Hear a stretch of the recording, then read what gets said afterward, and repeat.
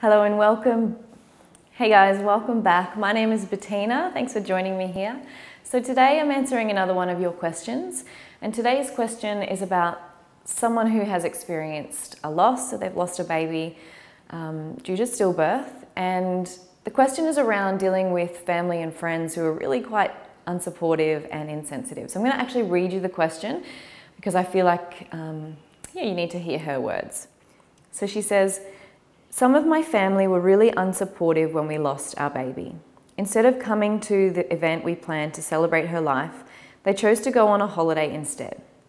Our relationship has never been the same and it, and it has hurt our whole family.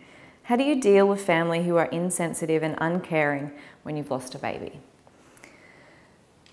So it's a big topic. Um, can I first just say I'm really sorry you have had to go through all of this. First to lose a baby and then to have to deal with other people's stuff is not a good situation to be in. And I imagine you feel hurt and really just disappointed that they weren't there for you in the way that you expect that you would be if it was them in your shoes. So I'm sorry that you had to go through that.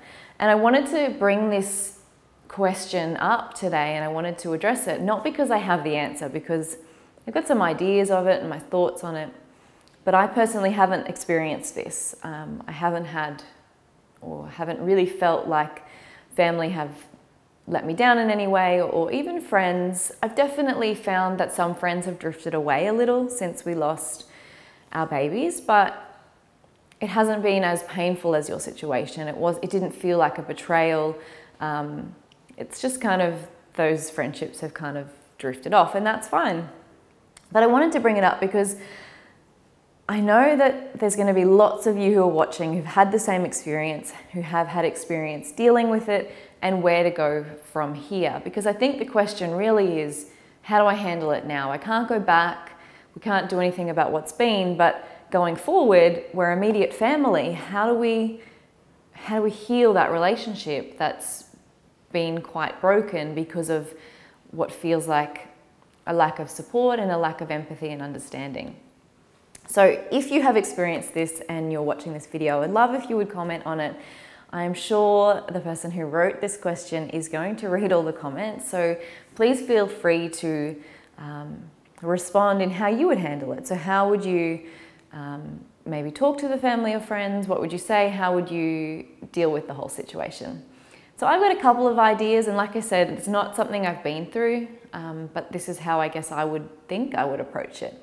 So first of all, I would have a conversation. It wasn't clear from um, your email that you'd ever had a conversation after the fact, so after the hurt, after the high, intense emotions of what happened, about what, about how you felt, about saying to them, you know, it really hurt me when you chose to continue going on a family holiday instead of coming to the funeral or the celebration. I'm not sure what you were calling it.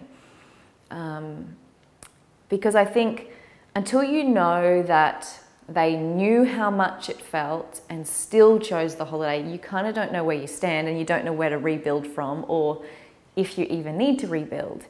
Because I know it's hard to imagine now once you've been through it, but until you have, and I don't say this in a way to negate people who feel empathy for us or for someone who's lost, but until you've been through it, you really don't know how much it hurts. You can imagine, but you can't feel it. And in the same way that I can't feel or imagine how much it hurts to lose a parent because I haven't lost a parent or I haven't lost a sibling. Like until you've experienced that, you don't truly know. And yes, we want to hope that people are empathetic enough to understand, but I don't know what was going on for them at the time. You don't know the whole situation, perhaps. You don't know what was going on in their family. Maybe there is other things that you need to know. So I would openly, without too much um, anger, I would come at it with, I am hurt, this hurt me, and I'd like to have a conversation about it so that we can somehow move forward because I think until you have that conversation and know either way their thoughts on the situation, you can't go anywhere. And maybe they respond with absolute horror that they've made you feel this way and they didn't realize. And while, yes, you want to tell them, how could you not realize?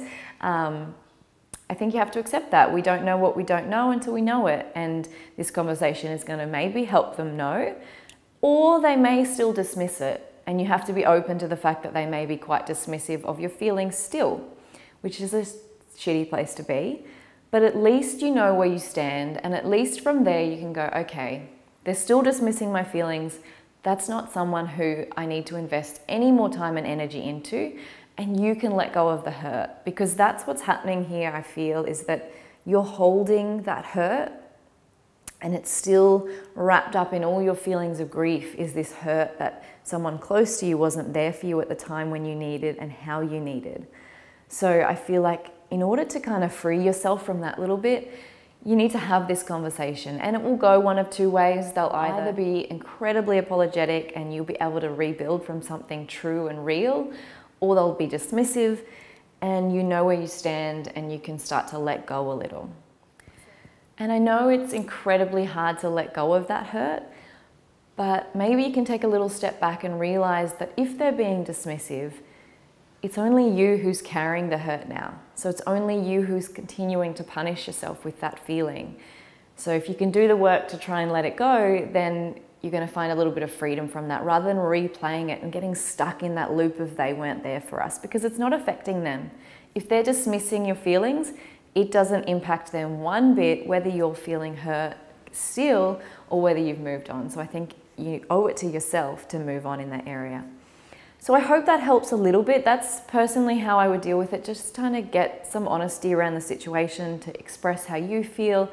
And I know we want people to know already. I know we expect that everyone will feel the same way as us, that they'll understand that in that situation, that's not what you do. But unfortunately, that's not how it works. People don't always understand, they don't think, they're in their own world. We live in our own little bubbles. So I think an honest conversation is where I would start. But like I said, this is not something I've personally experienced. So if you have and you've dealt with it and something's happened, please share your story. Let us know what's happened for you, what worked, what didn't.